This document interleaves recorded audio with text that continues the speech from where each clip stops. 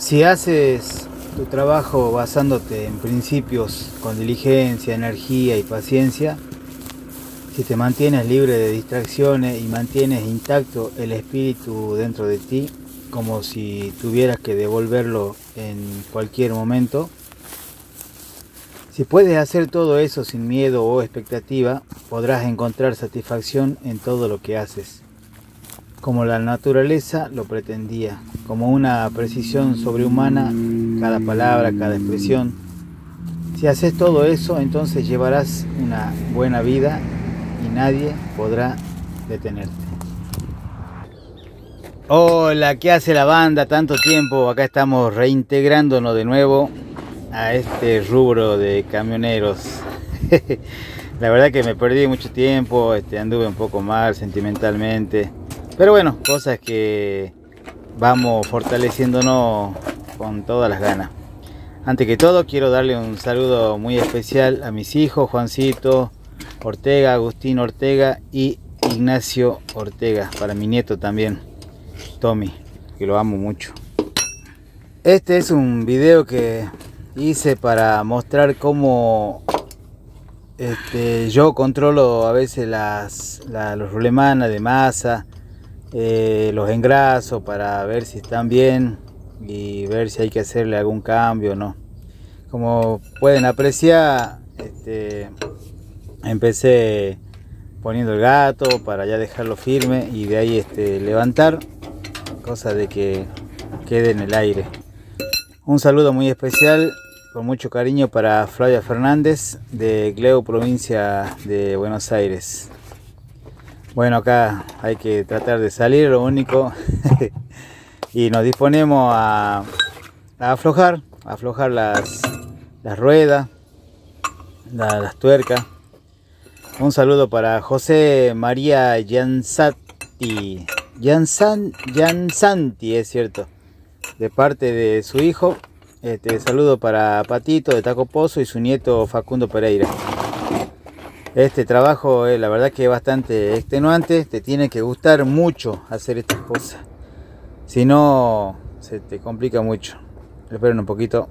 Guantes a mí.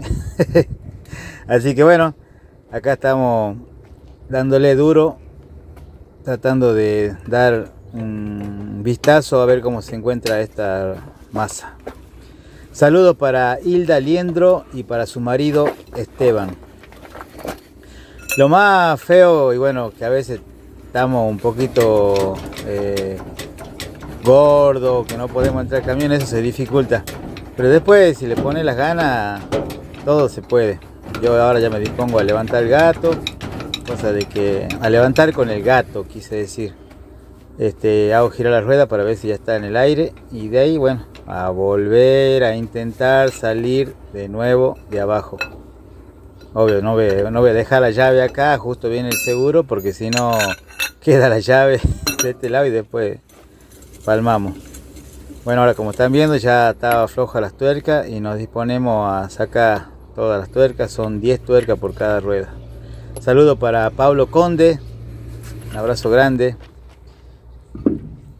Esta, esta parte es la que siempre hago porque a veces se me pincha una rueda o se revienta una cubierta y cuando hay gomero cerca, lo hago cambiar con el gomero. Si no hay cerca, no me arriesgo a ir este, con las gomas este, andando así porque se rompen y después más tiempo de pérdida para mí, que no me gusta perder el tiempo.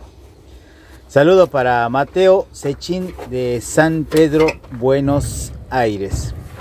Esta parte de hacer fuerza, sí, ustedes saben muy bien que es mi, me encanta. Me encanta porque todo lo que sea arreglo de, de la parte de abajo de los semi, me encanta. Saludos para Pablo de San Martín, Buenos Aires. Como pueden apreciar, la campana se encuentra bastante bien, le doy un par de limpieza, miro. Bueno, vamos a ver ahora la masa.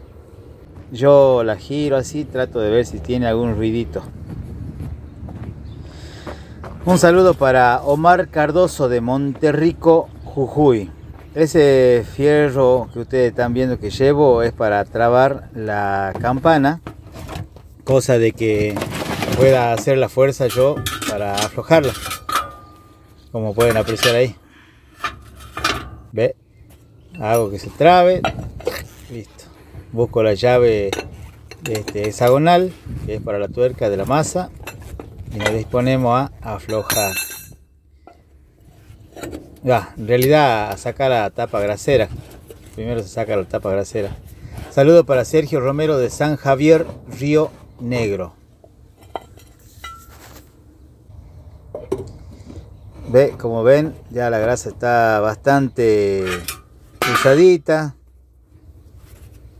sacamos el fierro hacemos un par de movimientos buscamos la llave 10 eh, saludos para Dile y Dari de Berizo. El tubito 10 ese estoy buscando. Para qué ahí está ¿ve? cosa de aflojar el seguro la chaveta seguro. Con eso saco lo voy guardando de esa manera. Después lo dejo en un lugar que no se ensucie mucho. Como pueden apreciar siempre se tiene varios trapos en estos casos porque bueno esto se trabaja con mucha grasa y se ensucia mucho la herramienta las manos. Esta llave no, no sirve a veces para aflojar la tuerca porque a veces se traba un poco. Eh, mejor es la otra que está hecha de acero que la hice yo con una planchuela. Ve esa la hice yo. Ahora busco la, la, palanquita y, y aflojamos.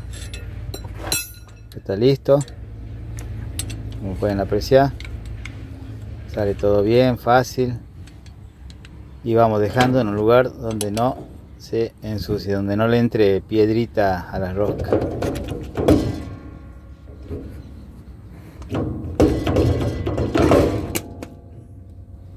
Epa, ese hay que lavarlo bien porque ya se cayó y bueno, se llena de, tierra, hay que limpiarlo bien después con, con gasoil, con viento. Miren esa mugre, toda grasa ya reusada, gastada. Debe tener esquirla incluso.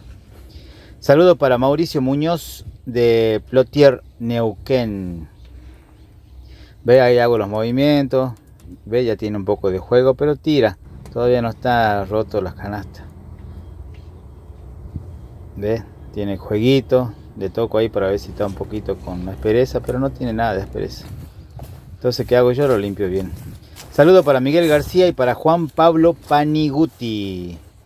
Voy y busco un cartoncito me vuelvo hacia la rueda y le vamos a aplicar un par, un par de golpes para que afloje toda la grasa que está entre medio del ruleman como pueden apreciar siempre sacando lo máximo de grasa saludo para Santiago Robledo que fue su cumpleaños hace un par de semanas atrás estoy atrasado con los saludos y bueno, si el patrón no me da palo gato.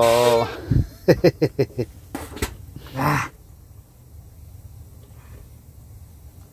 Quiero que mierda. Un saludo para Turquín y Julieta de Tama, La Rioja. Saco un poco de gasoil para enjuagar bien este, el rulemán, para limpiar un poco la, masa. La campana no hace falta, esa la limpio únicamente. Saludo para Marcelino Cepeda y Graciela de Entre Ríos. Acá le vamos a dar su limpieza, cosa de que salga toda la, viruta, toda la suciedad, la grasa eh, que ya no sirve. También limpiamos el que está metido ahí. Ese es difícil de, no es difícil de sacarlo, pero si está bien no lo saco. Lo limpio ahí puesto nomás. Le doy una buena limpieza, cosa de que este, y después le doy una muy buena engrasada, ¿no? Le saco todo, todos los restos que haya. Le doy mucho empeño, énfasis a estas cosas controlo bien y todo eso. Saludo para mi amigo Martín Piris y el Kaki de Varela.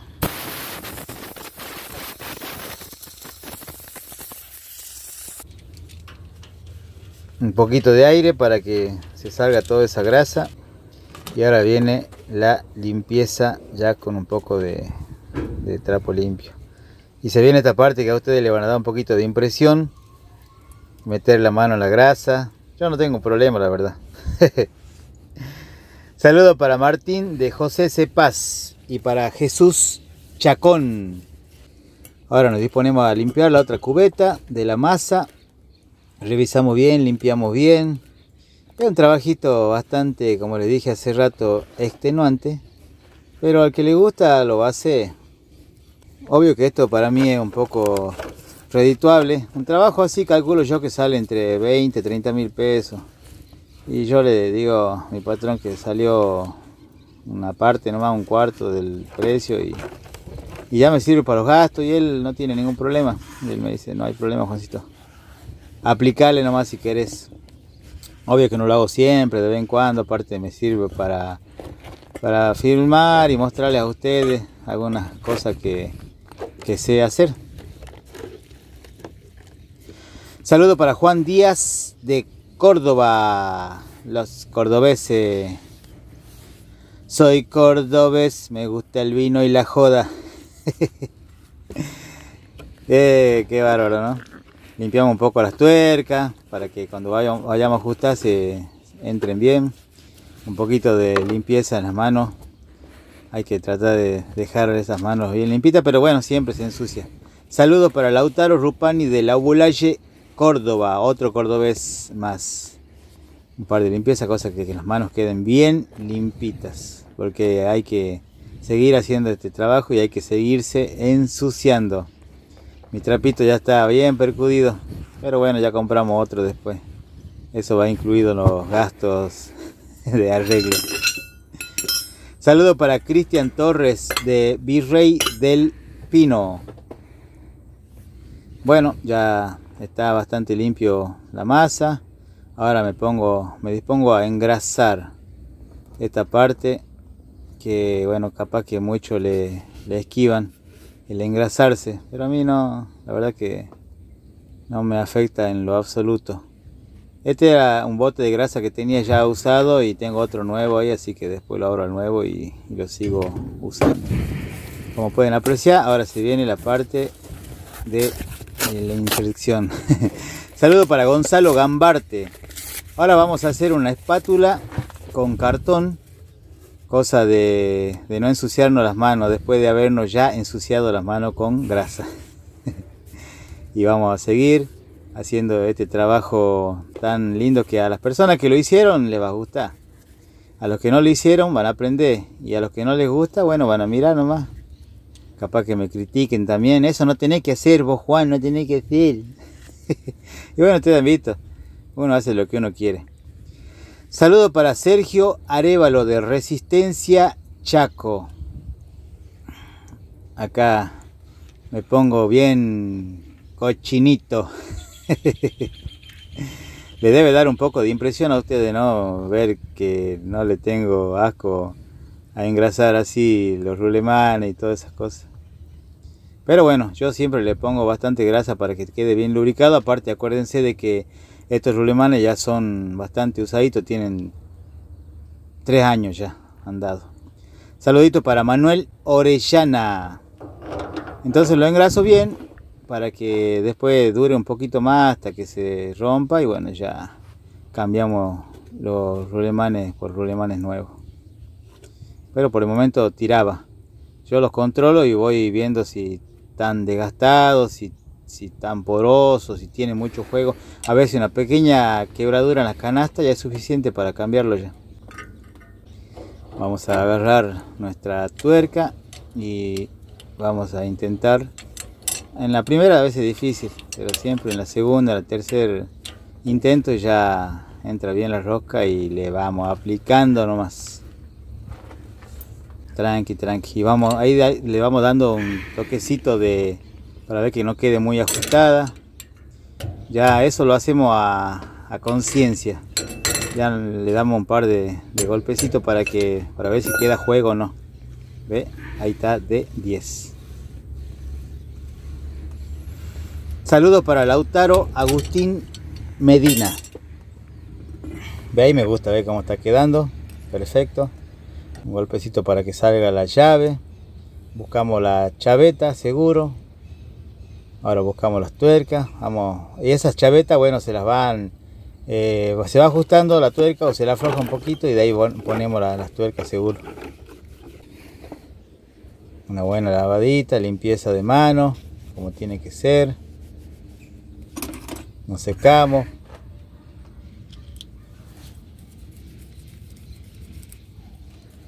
Y buscamos nuestra llave 10 y ajustar bien bien cosa de que no se afloje y se salga la, chaveta seguro que esa es la que sostiene la tuerca para que no se, no se afloje.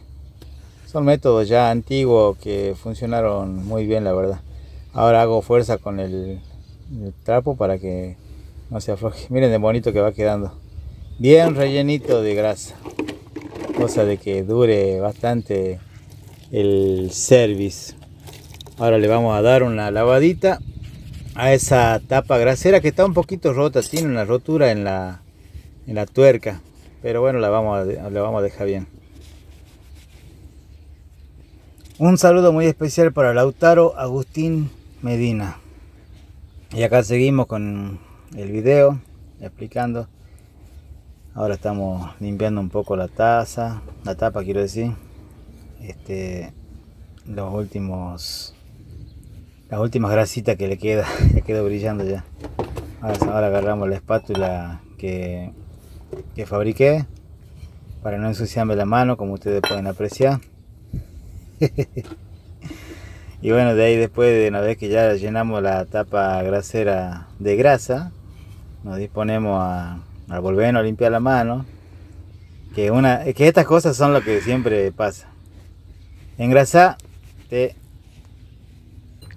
te engrasa todas las manos. Y acá. Ah cierto hay que poner el, el, o-ring me estaba olvidando de eso. Ponemos el o-ring de goma. Ve ahí está rotito ve la, ahí en eso. Eh, ahí fuerza fuerza. Ah, se me salió. Pero bueno con paciencia y salivita ustedes ya saben todo se soluciona con paciencia. Ahora nos ponemos el primer intento y listo. Vamos nomás. Sigamos haciendo este, este trabajito lindo. Vamos a limpiar la, la llave, cosa de que no ensuciemos la, la, tapa que, que estuvimos limpiando con tanto esfuerzo. Como ustedes vieron.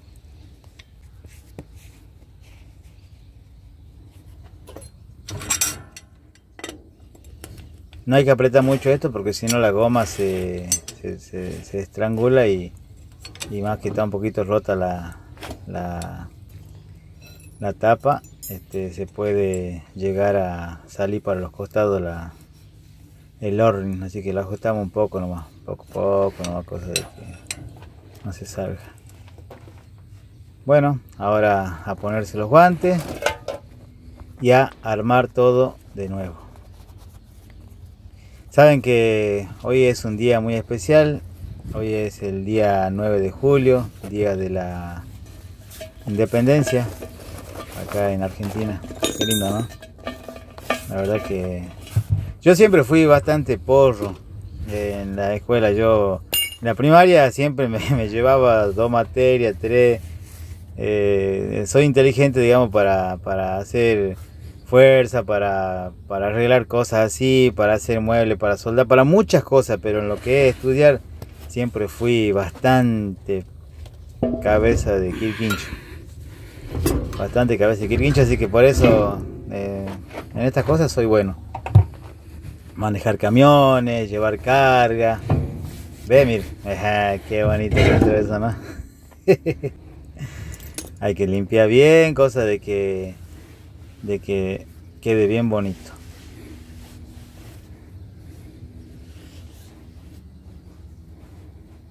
Miren de, limpito que quedó esa tapa. Bueno, ahora hay que hacer el esfuercito de poner la, la, la ruedita.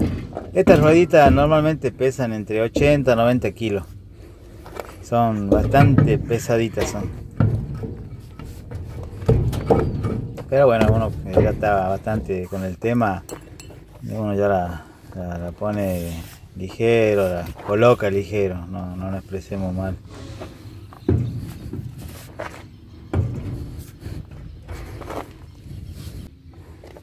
Buscamos la otra llave y hacemos un pequeño esfuercito para que plum y adentro. ¿Ve? Ahí está.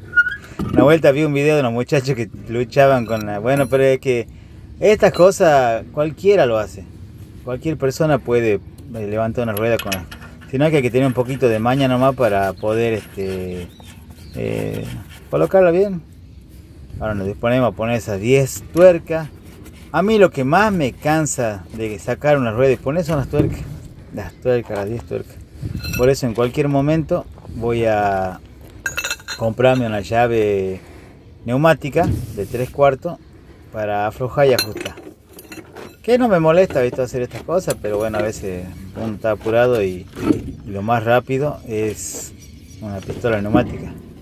Que y queda de 10. ¿Qué les parece, gente? Ya estamos terminando. Bueno, yo tengo como yo soy bastante patriota y me gusta mucho, eh, yo cuando iba a la escuela capaz que andaba mal en las materias, pero en lo que era eh, los himnos me gustaba mucho, así que voy a cantar el himno nacional argentino.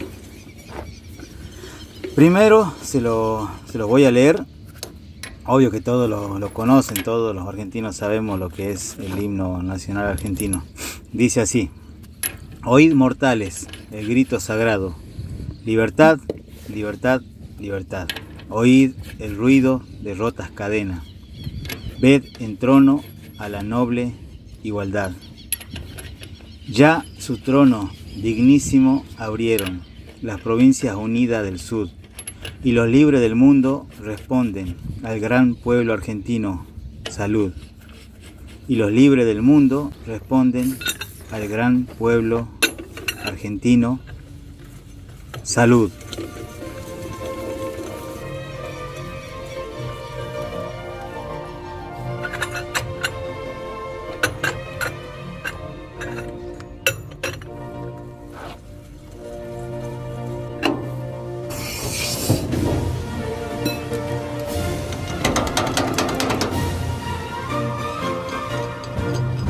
Sean eternos los laureles que supimos conseguir, que supimos conseguir.